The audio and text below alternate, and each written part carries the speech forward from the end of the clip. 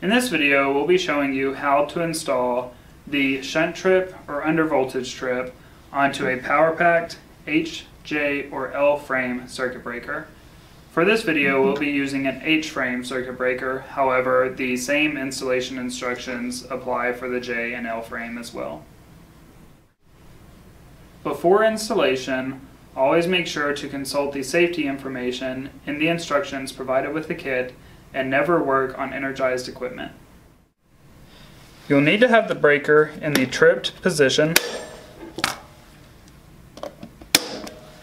and then remove the cover and slide the shunt trip or undervoltage trip into this slot and push until it clicks into place.